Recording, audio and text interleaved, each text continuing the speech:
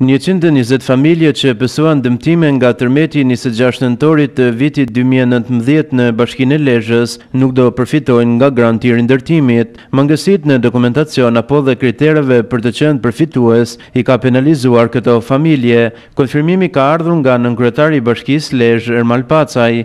Bashkia Lezhës deri në këto momente ka rreth njëqind e njëzet dosje të skualifikuara që nuk do kalojnë për për në në Këshillin e Bashkisë, nuk do bëhet kërkesa për grant për shkak se nuk kanë plotësuar ë dokumentacionin, por në fakt ose nuk kanë kriteret të cilat i bëjnë ata përfitues. Deri tani është miratuar pagesa për tetëqind e gjashtëdhjetë e gjashtë familje me shkallë dëmtimi, DS një, DS dy dhe DS tre, Ndërsa javën që vjen do të miratohet lista tjetër e familjeve përfituese. Konkretisht, dyqind e nëntëdhjetë e dy familje të cilat do të përfitojnë nga shkalla e dëmtimit DS një, dyqind e gjashtëdhjetë e shtatë DS dy dhe treqind e shtatë DS tre. Totalisht për gjithë bashkinë e territorin e Bashkisë Lezhës janë tetëqind e gjashtëdhjetë e gjashtë familje që do përfitojnë nga granti.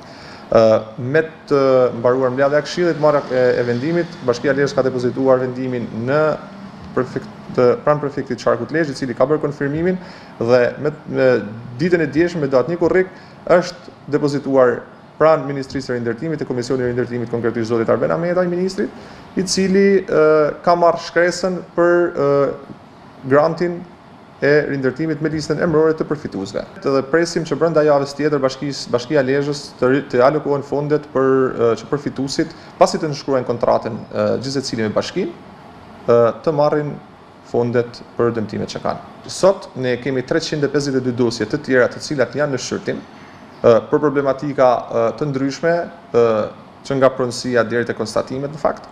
Dëmtimet DS një, DS dy, DS tre, të gjitha dosjet që Bashkia e Lezhës ç'ka në shqyrtim, brenda javës tjetër do jenë të gjitha të të kaluara. Përfitues të këtij granti janë ato familje që kanë patur dëmtime të ndryshme në banesat e tyre, por që nuk duhen rindërtuar nga e para, por kanë nevojë për punime rikonstruksioni apo riparime.